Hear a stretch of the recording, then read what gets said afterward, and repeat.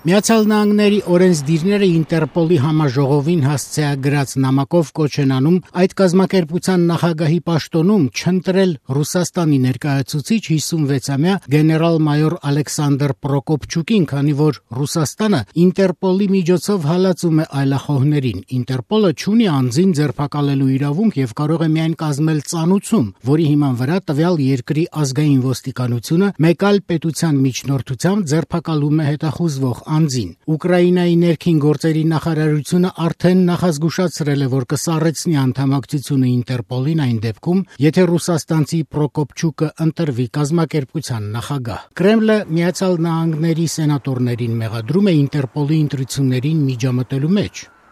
Մենք այդ նամակը չենք տեսել, միայն լսել ենք դրա մասին։ Դա միջազգային կազմակերպության ընտրություններին միջամտելու փորձ է, ել ինչպես գնահատենք։ Այնուամենայնիվ տեղի կունենան ընտրություններ, եկեք սպասենք։ Ընտրությունը տեղի կունենա վաղը Դուբայում։ Եվրոպական միությունը մտահոգված է փոքր եւ միջին հերահարության հրթիռների կրճատման պայմանագրի ճակատագրով։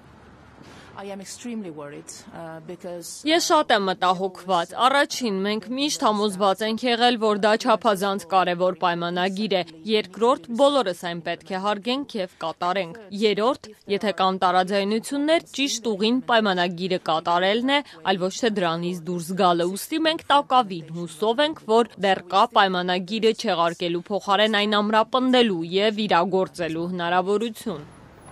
ԱՄՆ նախագահ Դոնալդ Թրամփը շաբաթներ առաջ ասել է, որ Միացյալ Նահանգները դուրս է գալիս պայմանագրից, քանի որ Ռուսաստանը այն խախտում է, իսկ դրանում չընդգրկված Չինաստանը նոր զինատեսակներ է ստեղծում։ Վլադիմիր Պուտինը արձագանքել է, թե Ռուսաստանը ստիպված կլինի պատասխան միջոցների դիմել, եթե Ամերիկան դուրս գա 1987 թվականին կնքված պայմանագրից։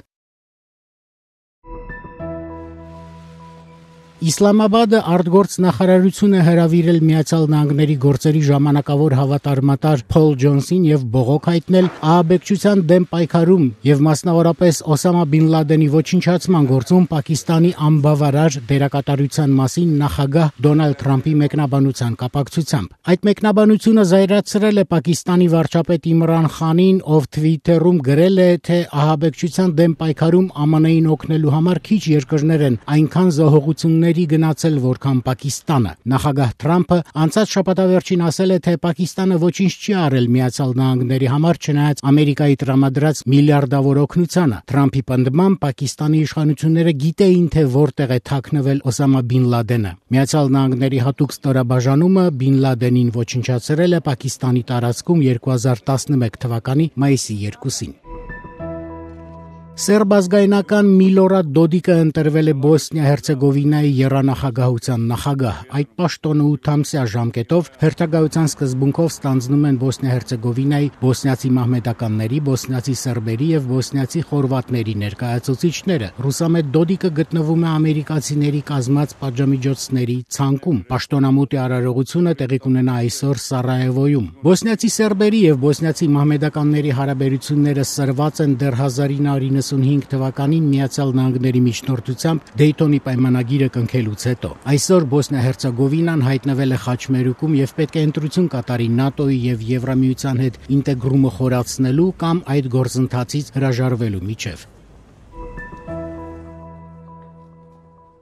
Սպիտակ տունը վերականգնել է CNN հերոստակայանի թղթակից Ջիմա Կոստայի վկայականը, որը նախագահ Դոնալդ Թրամփի աշխատակազմը բռնագրավել է անցած ասուլիսում լրագրողի եւ նախագահի սուր բանավաճից հետո։ Միաժամանակ Սպիտակ տունը սահմանել է ասուլիսների նոր կանոն։ Յուրաքանչյուր լրագրողին կտրվի մեկական հարցի իրավունք պարզաբանման համար լրացուցիչ հարց տալը պետք է արտոնվի Սպիտակ տան կողմից։ CNN-ը բողոքարկել է Ակոստայի վկայականը բռնագրավելու Սպիտակ տան որոշումը եւ դատարանը կարգադրել է Թրամփի աշխատակազմին այն վերականգնել։ Թրամփն իր նախագահության տարիներին բազմիցս է ներքաշվել լրագրողների հետ սուր վեճերի մեջ եւ լրատվամիջոցներին մեղադրել է կողմնակալություն դրսեւորելու եւ կեղծ տեղեկություններ տարածելու համար։